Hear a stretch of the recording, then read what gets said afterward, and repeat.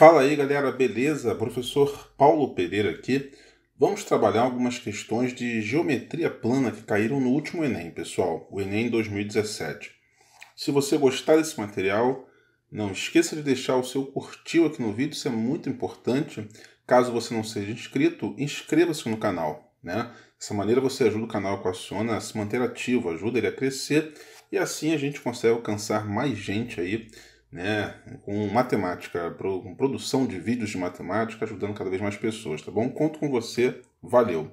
Se puder, aperte o sininho também, que aí você já fica por dentro, é notificado quando o próximo vídeo do Geometria Plana do Enem sair aqui no canal, beleza?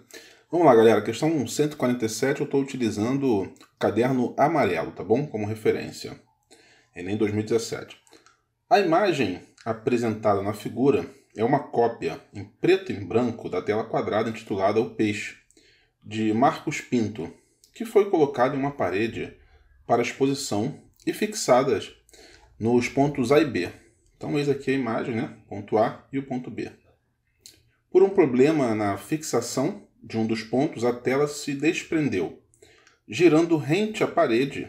Após o giro, ela ficou posicionada como ilustrado na figura formando um ângulo de 45 graus com a linha do horizonte. Deixa eu baixar aqui então para vocês poderem visualizar o que aconteceu, né?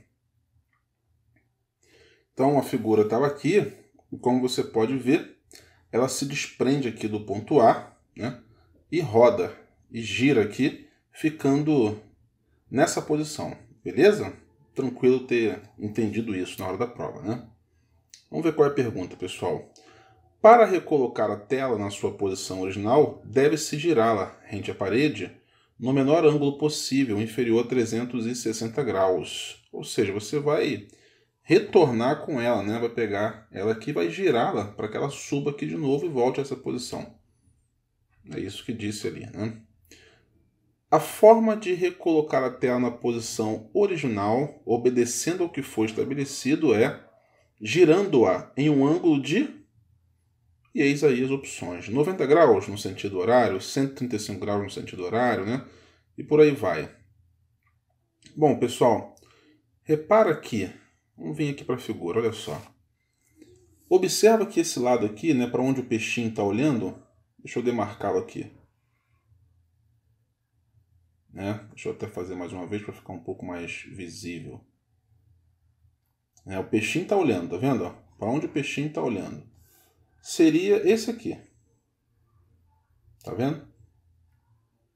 Nossa referência para entender que é esse lado aqui é onde o peixinho tá olhando, beleza? E aí o que acontece? Ele pega aqui no ponto B, tá vendo? Se eu reproduzir este segmento aqui, então ele estaria aqui assim. Concorda comigo? Né? Era a posição original do quadro. Então, o que acontece, né? Como esse ângulo aqui é um ângulo de 90 graus, né? Você tem 90 graus mais 45 graus, você teve um giro aqui de 135 graus. Você concorda comigo? Ó? Esse giro aqui foi de 135 graus, no sentido anti-horário. Né? Para retornar, é só a gente voltar no sentido horário agora, a mesma quantidade, né? 135 graus. Então aqui, ó, 135 graus no sentido horário.